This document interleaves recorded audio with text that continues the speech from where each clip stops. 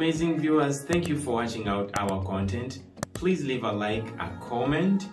Don't forget to share and to press that notification button so that you don't miss out our content. Remember to subscribe. See you in the next one.